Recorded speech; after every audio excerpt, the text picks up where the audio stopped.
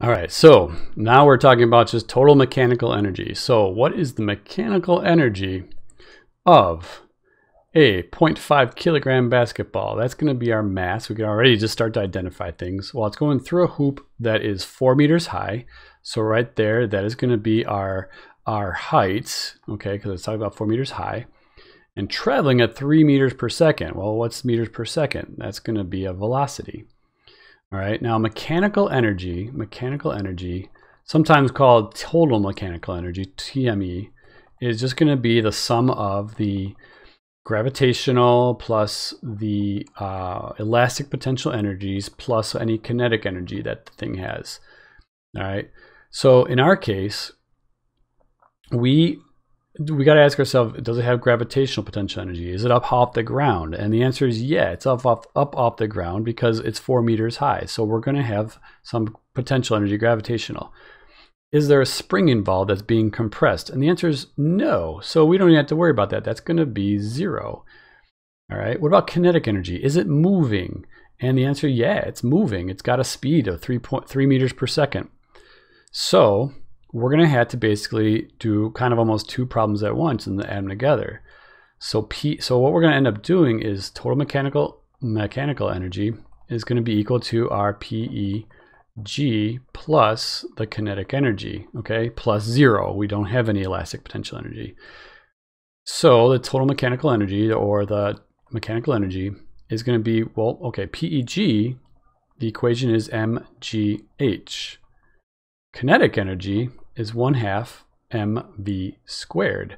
Now pause it right there because if you need to and understand where I got these equations from. They're just the usual equations, but now I'm having to add them together. All right, so now I'm just gonna start putting in numbers. So mass is 0.5 kilograms. The gravity is always 9.8 meters per second squared. And the height we set up here is four meters. All right. Multiply those three numbers together, and then we add them to one half times the mass again, so 0.5 kilograms. Seems like mass always plays a role here. Maybe not in elastic, but all right, times the velocity squared, so three meters per second squared. And do not, do not forget that squared. That will mess you up. All right. Now, honestly, after this point, it's all just algebra.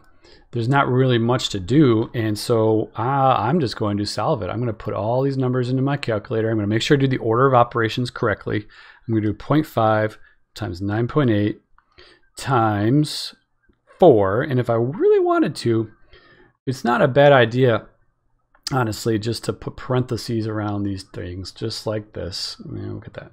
Okay, so plus, and then parentheses again, 0.5 or half times another 0.5 times the 3 squared.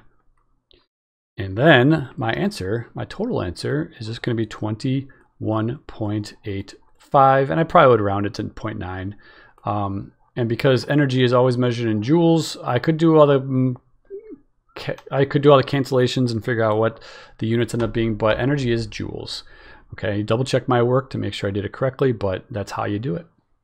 So for the second question here, this how much potential energy would a car have? So potential energy doesn't specify which one, but cars and springs don't cars don't usually run into springs and they're not launched by springs. We could assume it's gravitational, but what doesn't even specify, it doesn't matter.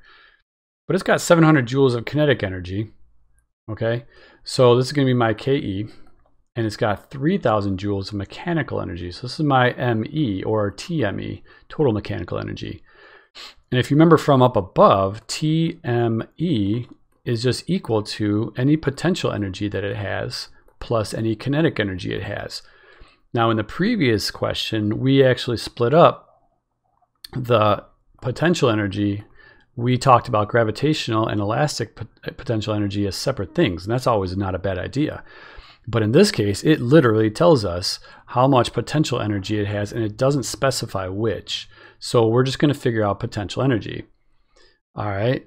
So now what we can do is we can rearrange this if we like, but we could solve for potential energy right now. We could just subtract kinetic energy from both sides. Um, but because we're kind of just beginning with this, maybe that's not a, maybe we could just plug in numbers and see where it takes us. So it tells us the total mechanical energy is 3,000 joules. And that's going to be equal to the potential energy, which is what we're trying to find, plus the kinetic energy.